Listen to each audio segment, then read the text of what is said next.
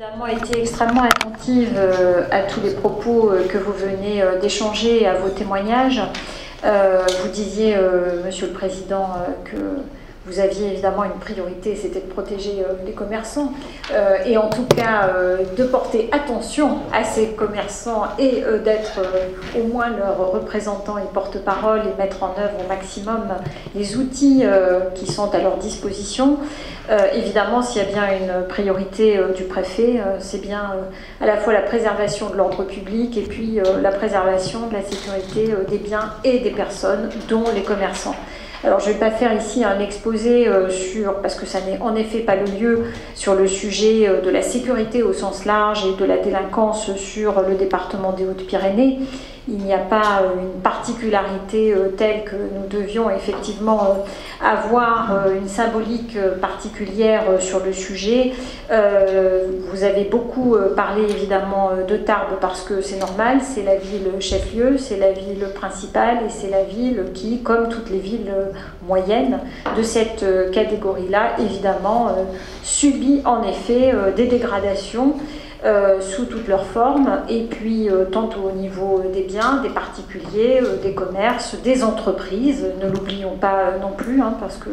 j'ai en mémoire quelques faits divers récents et, réitérés sur notamment un certain nombre de vols de carburant, pour ne citer que cela, ou de matériaux, et donc des précautions évidemment à prendre sur lesquelles je reviendrai. Donc il n'y a pas en effet une particularité ou une spécificité, mais je comprends bien que chacun et chacune touché, et en particulier euh, sur Tarbes par euh, cette euh, impression, cette, ce sentiment d'insécurité, et puis la réalité de certains faits, qui ne sont pas là que des impressions, vous marque spécifiquement et particulièrement. vous dire plusieurs choses, vous dire qu'évidemment le sujet de l'outil qui est mis à votre disposition, je pense qu'en effet il faut euh, le faire savoir, le faire connaître, réitérer cette communication parce que euh, c'est évidemment un point de prévention et de précaution utile.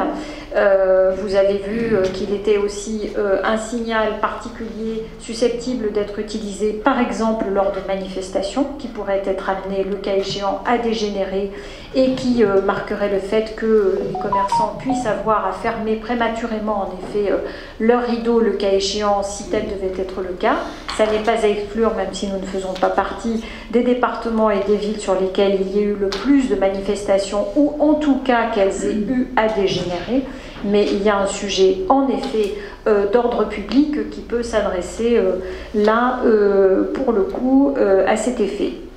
Je reviens sur quelques éléments que vous avez cités. Vous avez cité notamment, parce que c'est en effet très récent, le sujet de l'arsenal et de faits divers qui se sont produits particulièrement euh, ce week-end, la nuit, et qui euh, évidemment ont fait l'objet euh, d'interpellations.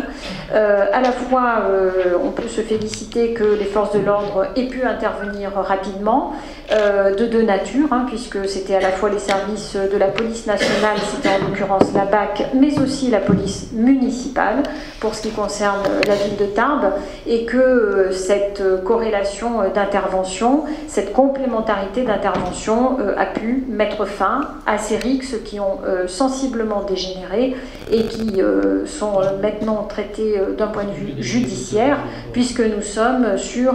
à la fois des arrestations et des positionnements en garde à vue puis un traitement judiciaire de ces faits. Donc des choses que nous prenons évidemment très au sérieux, qui font que nous soyons très réactifs et euh, que ce matin encore, le préfet, puisque nous avons euh, tous les lundis matins ensemble une réunion de sécurité avec les forces de l'ordre, gendarmerie et police nationale, euh, donne l'occasion de faire des rondes qui vont être euh, assez systématisés dans un premier temps sur ce lieu pour répondre, alors au-delà des commerces, pour répondre à la sécurité évidemment euh, des clients en l'occurrence parce qu'il s'agit aussi euh, de cette partie de protection-là. Donc en effet, il y a une réaction et une réactivité nécessaire à la fois des forces de l'ordre, l'accompagnement évidemment des commerçants et des clients et le, fait d'avoir à retrouver la paix et l'ordre public en ce lieu. Vous parliez de Braoban, vous parliez de la place de Verdun, oui bien sûr. observations ont été faites d'un certain nombre de SDF qui tour à tour sont visités par les maraudes hein, associatives. Vous savez aussi qu'il y a ce sujet-là d'intervention particulier où euh, il y a des associations bénévoles qui interviennent et qui, euh, effectivement, vont régulièrement voir ces personnes. Personne ne peut être amené à les contraindre à adhérer à un projet associatif ou à un projet d'hébergement. Mais sachez en effet que les services de l'État proposent des hébergements à ceux qui pourraient l'accepter, puisque nous avons toujours un circuit de places possibles d'hébergement, temporaire ou plus longuement, le cas échéant, en fonction des statuts des personnes. Donc tout ça pour vous dire par ces quelques exemples qu'il y a euh, évidemment euh, un sujet de préoccupation et un sujet d'attention fort où nous sommes là, euh, service de l'État, service de la ville de Tarbes, en l'occurrence par la voix du maire et président de la communauté d'agglomération, un sujet d'attention au dispositif de prévention, de sécurisation et de sécurité.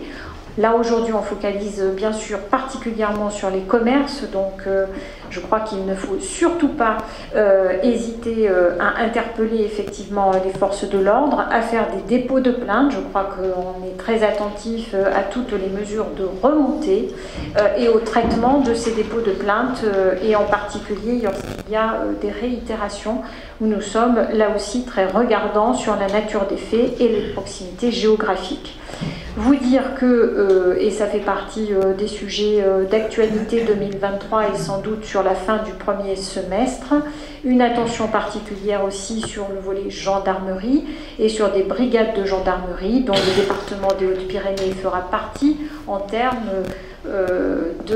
d'arrivée de brigades de gendarmerie supplémentaires réparties sur le territoire et pour lesquelles nous aurons, nous aurons pardon, des annonces du ministre de l'Intérieur sur le sujet.